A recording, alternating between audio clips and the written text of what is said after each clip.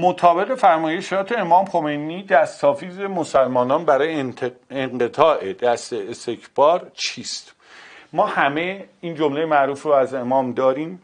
امام خمینی رحمت الله علیه تاکید می‌کنند که باید برای حفظ مجد مجد یعنی بزرگی اسلام زیر پرچم توحید و اسلام متحد بشین, متحد بشیم و یک پارچه در مقابل مستکبران ایستادگی کنیم. که این بحث رو داریم که تو گزینه یک اصلا تاکید کرده تکیه بر فرهنگ اصیل اسلامی. تا اینجا حالا ما میگیم تکیه بر فرهنگ اصیل اسلامی مطرحه.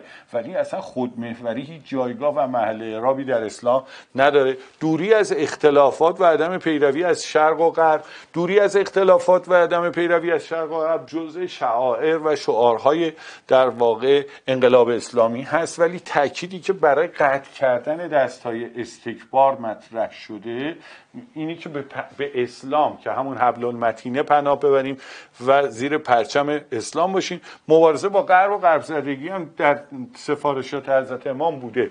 ولی این در ادامه در این هستش که ما زیر پرچم اسلام و توحید متحد شدیم برای حفظ مجد اسلام.